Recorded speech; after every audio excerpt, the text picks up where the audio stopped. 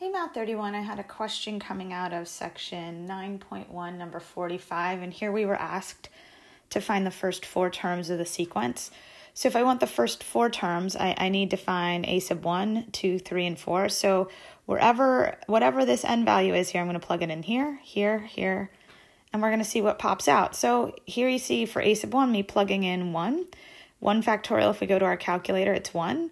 1 squared minus 1 minus 1 is negative 1 and that ratio is negative 1. So I know a sub 1 is negative 1. Now, a sub 2, we get 2 factorial over 2 squared minus 2 minus 1. And again, 2 factorial, that would be 2 times 1. That's how we find that number. And then the denominator just simplifies to 1. So a sub 2 is 2.